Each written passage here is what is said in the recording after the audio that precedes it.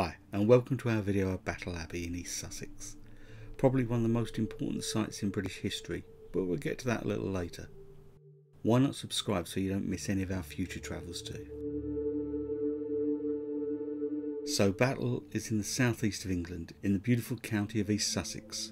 Despite being the site of the Battle of Hastings, it's six miles northwest of Hastings itself. It's easy to get to by train, and it's also very easy to drive to. So let's start the entrance, the Great Gatehouse.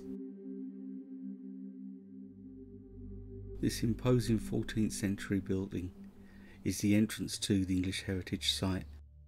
For members entry is free. For everyone else I'll drop a link in the description below so you can check out the current pricing.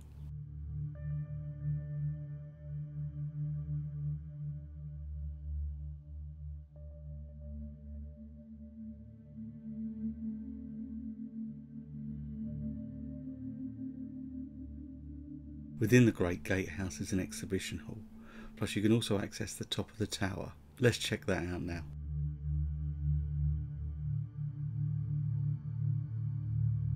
This is the town of Battle to the north. We'll cover this in more detail in a later video. To the south is Abbot's House, which is now Battle Abbey Prep School, and beyond that the battlefield.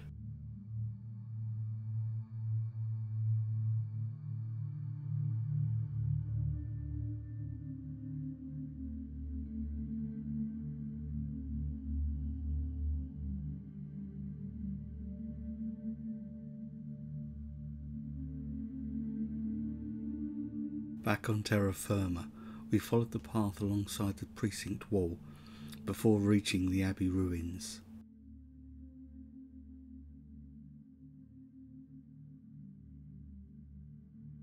The original abbey was built by William the Conqueror as penance ordered by Pope Alexander II for the death and destruction caused during the Norman invasion of England. We're now looking at the ruins of the Benedictine monks' dormitory. We can blame Henry VIII for the state of the place. After his spat with the Pope, he embarked upon the dissolution of the monasteries. With Battle Abbey, he gave it to a friend who turned the abbot's house into his own country home and went about demolishing the church.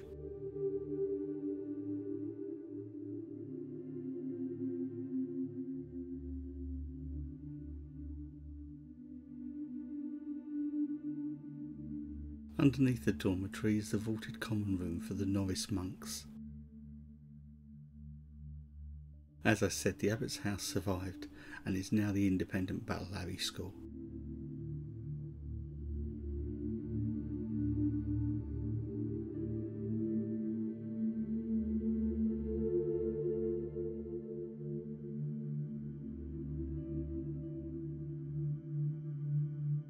For those that don't know, the original church's high altar was to be built on the spot that the defeated Harold fell.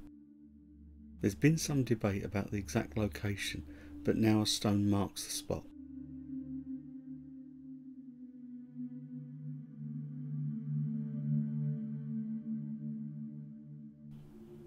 There's one part of the original church that is still visible, and that's the remains of the ancient crypt. Remember, this is over 900 years old.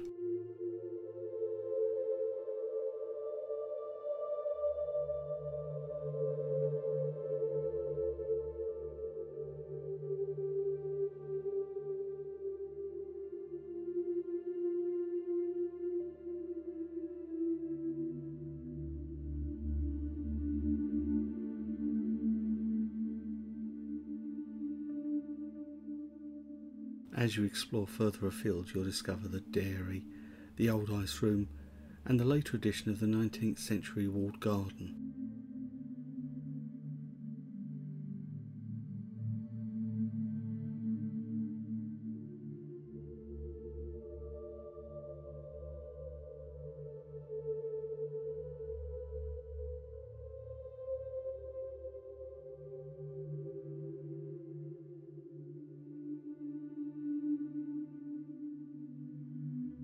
It's now time to explore the battlefield, and as I said before, this is where England and the English language changed forever.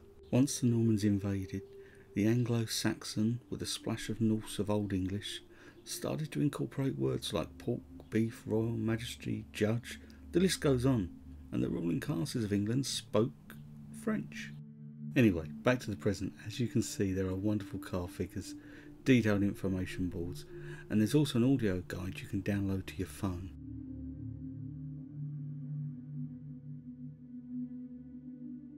I guess surprisingly, the battle only lasted a day.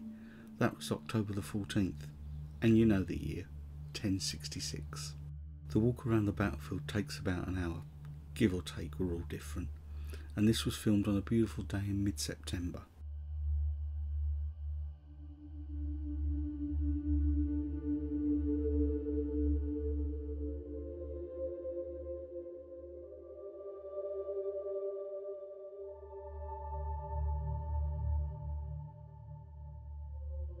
Now this surprised us, some grazing sheep, but they didn't seem too bothered by us and we just went on our way.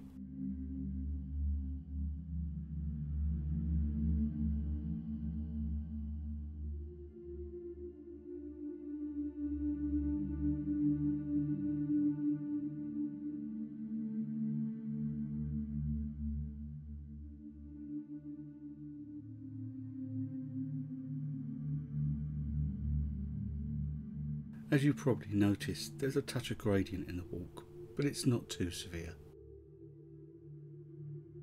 So on this field, English and Welsh history changed forever. For more on that, check out Marcus's videos on Welsh castles over at Fly Drive Explore. I really hope you like what we put together. We'd love to hear from you, so please leave a comment. And if you like, then give us a big thumbs up. Oh, and don't forget to subscribe. Thanks so much, and take care.